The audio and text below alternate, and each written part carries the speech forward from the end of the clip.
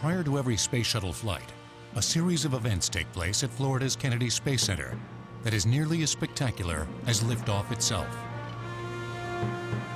The shuttle is rolled out of its processing hangar on a 96-wheel transporter and carried to the 525-foot tall vehicle assembly building, which was originally built to assemble Saturn V rockets during the Apollo era. The newly completed Columbia made this trip for the first time in November 1980. The first time Columbia rolled out of the processing facility after years of work in there and rolled over the VAB, there were thousands of people out there just to watch that short trip between the processing facility and the VAB. All those technicians that glued tile on, all those engineers that wrote software, all those people that worked in logistics that procured parts. Everybody felt that they were a member of the team. Waiting for every orbiter inside the vehicle assembly building are the solid rocket boosters and external tank, which have been raised to the vertical position and attached together. A pair of cranes lift the orbiter vertically toward the top of the building, high above the external tank. It's aligned with the tank, then is gently lowered down and attached to it.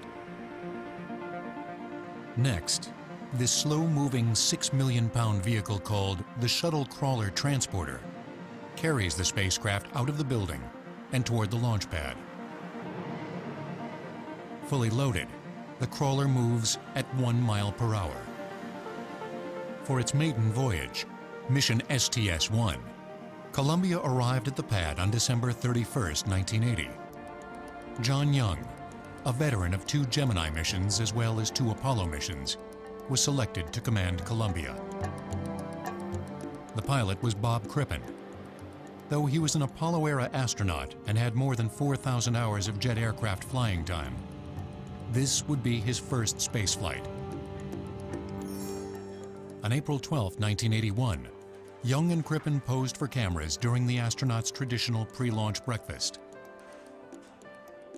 In a few hours, they would be flying the first vehicle sent into space without the benefit of previously unmanned orbital testing. It was almost like Apollo again. We hadn't been in space.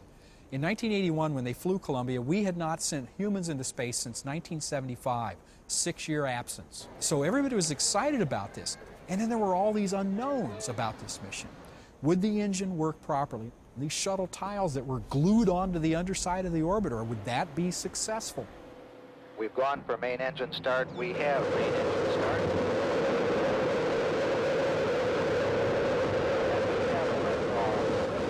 America's first space shuttle. And the shuttle has cleared the tower. Columbia would soon be joined by three sister orbiters. Together, they would make space travel seem routine